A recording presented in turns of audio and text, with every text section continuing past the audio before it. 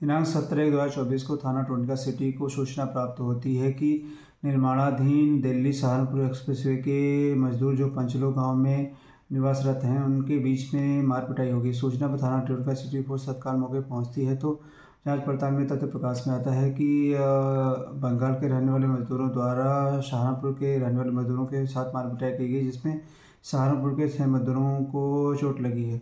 छः मजदूरों को उपचार हेतु सी एस सी लेने भेजा था जिसमें उपचार के दौरान एक मजदूर की मृत्यु हो जाती है। जाँच पड़ताल में यदि तथ्य प्रकाश में आता है कि इन घट, इस घटना के पहले आप, इनका आपस में गाड़ी पर चढ़ने को लेकर विवाद होता है, तब विवाद के बाद जब यह पुनः अपने रहने वाले स्थान पर आते हैं तो इनमें आपस में झगड़ा होता है।